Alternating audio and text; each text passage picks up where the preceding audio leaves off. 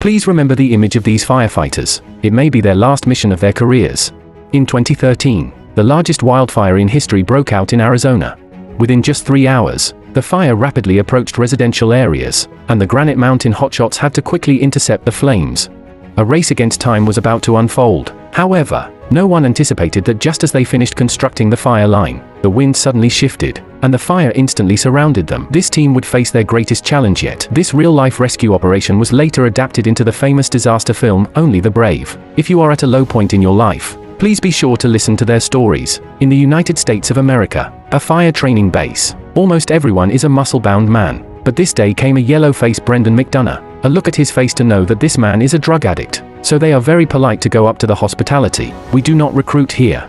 Sorry, Brendan McDonough was a little lost and was just about to leave when he was stopped by the captain, Eric Marsh, who decided to give the disillusioned man a chance. During the course of the conversation, Eric Marsh's questions were very pointed. He asked Brandon McDonald when was the last time he did drugs. Brandon McDonald has a very bad resume. Not only did he do drugs, he did jail time and is now on parole. Eric Marsh ended up asking Brandon McDonald why he was here. He didn't expect this Brandon McDonald gave this reason. I now have a daughter and I want to give her what I never had. Just a few days earlier, Brendan McDonough unexpectedly discovered that his ex-girlfriend was pregnant with his child. This child is a part of me, and I will take responsibility, he said. You've never taken responsibility for anything. I will raise her with my family. He had been called a waste his whole life, but when he saw his newborn daughter in the hospital, it was as if life had taken on a new burden. Brendan McDonough decided to live differently. When he spoke about his daughter, his vacant eyes were filled with radiance. Eric Marsh was willing to give this father a chance. He put together a running gear set for Brendan McDonough and had him join the team for a training run up the mountain. However, after running only a few steps, Brendan McDonough couldn't keep up.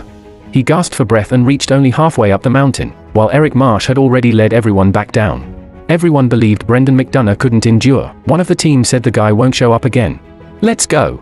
But just as the words fell, they saw Brendan McDonough running toward them like a zombie. He showed Eric Marsh a selfie taken at the mountaintop as proof that he completed the entire run. Eric Marsh patted his back and told him to come to the gathering on Monday at 6 a.m. This meant he passed the test. Brendan McDonough decided to become a responsible person. After work, Brendan McDonough went to the supermarket and filled a cart with baby supplies. He quietly left it at his ex-girlfriend's doorstep. Brandon McDonald's lack of firefighting knowledge led to the entire team being punished. This angered Christopher McKenzie, who already disliked Brendan McDonough. He kept provoking Brendan McDonough verbally, but Brendan McDonough ignored it until he started insulting Brendan McDonough's daughter, and Brendan McDonough became enraged and started fighting with him.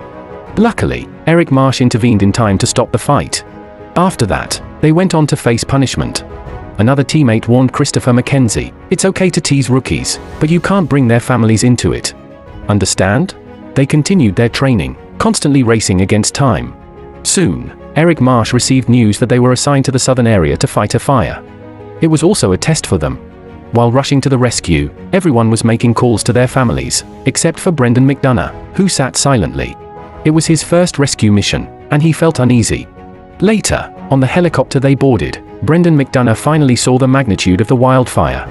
The vast sea of fire engulfed everything in thick smoke. The firefighting team arrived at the foot of a mountain, where they were tasked with building a firebreak. The wind direction was highly unfavorable for their rescue operation. Eric Marsh made a decisive decision to use a tactic called backfiring. He fired shots into the nearby forest, instantly igniting the trees.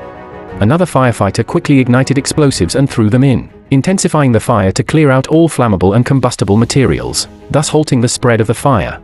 That night, the momentum of the wildfire diminished, they succeeded. On the way back, Brandon McDonald's helmet strap was missing, so his teammates used duct tape to secure the helmet to his head. A few of his teammates couldn't help but laugh at Brandon McDonald's antics. Christopher McKenzie pulled out a piece of tape and asked, Is this yours? Everyone burst into laughter. It also meant that they had accepted Brandon McDonald. Jesse Steed pointed down to the now extinguished wildfire below and said, No matter what the outcome of the assessment is, remember that we're the ones who saved this place. This time's rescue operation allowed everyone to pass the assessment. After returning, Brendan McDonough continued to deliver baby supplies to his ex-girlfriend. On that day, as the woman came out holding the baby, she called out to him. She saw the change in Brendan McDonough and asked, Do you want to hold her? He hesitated, saying that he was too dirty and didn't want to soil her clothes. She reassured him and said it was okay. When Brendan McDonough held the tiny baby in his arms, he couldn't help but kiss her forehead. To celebrate passing the assessment, the firefighting team held a grand party. When there were no fire operations. They were just ordinary people, husbands who kissed their wives and fathers who played with their children. But when disaster struck, they were the heroes at the forefront. The wildfire this time was extremely aggressive. The team arrived ahead of the spreading fire and began cutting trees, clearing shrubs, and digging a fire break. Then, they started igniting the vegetation, causing the fire to rapidly spread. They also made sure to protect the large tree in the middle, preventing it from being destroyed in the inferno. Once the fire was extinguished and there were no more combustible materials around, they cheered each other on, took a group photo in front of the saved ancient tree, Little did they know that it would be their last photo together. After returning from the rescue, Eric Marsh had a big argument with his wife. She complained that he was completely focused on work and didn't care about their family. Every rescue mission left her anxious, fearing that he might not come back one day. After thinking all night, Eric Marsh made a decision the next day. He told Jesse Steed that he had decided to retire. This would be his final rescue. On the way up the mountain, Christopher McKenzie mentioned meeting a beautiful girl and planning to confess his feelings to her upon returning. They began constructing the firebreak, but to their surprise, as soon as the fire started, a plane extinguished the fire they had painstakingly ignited. It was evident that it wasn't suitable to establish a firebreak there anymore. Eric Marsh had no choice but to lead the team towards the ridge. He assigned Brendan McDonough to keep watch and report the wind direction. Brendan McDonough smiled and bid farewell to his teammates. Unaware that this would be their final goodbye, Brendan McDonough diligently kept watch, and soon thick smoke rose not far away. The fire quickly spread towards him. And within a minute, he was surrounded by flames. Fortunately, another team heard his distress signal on the radio and came to rescue him in a vehicle. They managed to escape.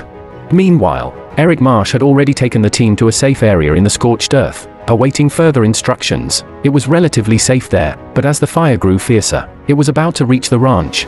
Eric Marsh decided to lead the team in evacuating along the escape route. Just before the wildfire arrived, construct a fire barrier in front of the ranch before the wildfire arrives. Teammates received the order and swiftly moved. One firefighter picked up a beautiful stone from the ground, a promise he had made to his son. On the other side, Brendan McDonough also arrived at the staging area with the other teams, ready for further orders. At this moment, Eric Marsh, who was scouting ahead, was horrified to see that the fire was spreading even faster than he had anticipated. It engulfed the ranch almost instantly, leaving them no time to retreat. They had to immediately build a fire line in place and request aerial support. By now, the fire had reached their location, and the supporting aircraft had arrived. However, the thick smoke below made it impossible for the pilot to locate the firefighters. His voice was drowned out by the roar of the plane as it flew straight past, shattering their hopes. The wildfire, accompanied by dense smoke, had surrounded them,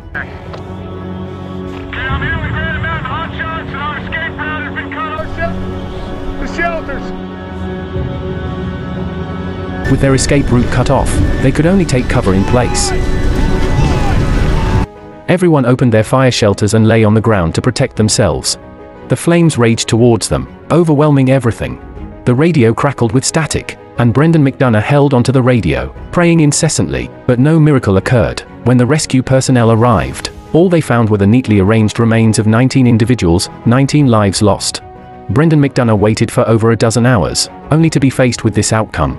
He instantly broke down. The families received the news and gathered in a sports arena. Their hearts were enduring the most painful torment one could imagine. They heard that one person had survived from the team, and everyone clung to their last glimmer of hope, desperately wishing that the survivor would be their son, husband, or father. Meanwhile, Brendan McDonough, the lone survivor, was on his way to the sports arena. Everyone tried to persuade him not to go, but he insisted on doing so. Brendan McDonough wanted to give an account to the families of his fallen comrades. He stepped into the sports arena with heavy footsteps, his trembling lips unable to utter a word. As expected, when people saw his face clearly, all hope vanished. Brendan McDonough held back his grief and walked out alone, weighed down by grief. Eric Marsh's wife noticed his distress and followed him. Sure enough, Brendan McDonough collapsed to the ground after taking a few steps. She embraced him, offering comfort and sharing the pain with him. In the end, as Brendan McDonough had hoped, he became an excellent father.